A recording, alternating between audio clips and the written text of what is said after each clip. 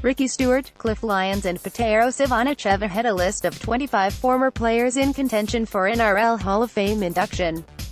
An independent screening committee whittled down a provisional list of more than 100 former players to 25 final candidates and will unveil six new Hall of Fame inductees in July. Also on the list are Jack Bluey, Watkins and Stacey Jones. NRL Chief Executive Todd Greenberg said all nominees were well-credentialed to be included in the final list. The players nominated collectively represent thousands of matches, hundreds of rugby league years, and millions of memories for fans, Greenberg said. Their on-field performances live on today among the many passionate supporters who saw them play, and they will never be forgotten. All 25 are worthy nominees, given the roles they played in making rugby league such a great sport. Senior manager of NRL Awards, Frank Puletua, said the 25 nominees would now go to a voting college of 25 judges, representing a cross-section of the game.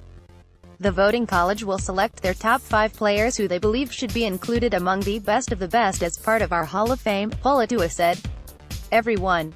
The nominees displayed excellence, persistence and sheer determination time and again during their playing career and each has a strong case to be included as a Hall of Fame inductee this year.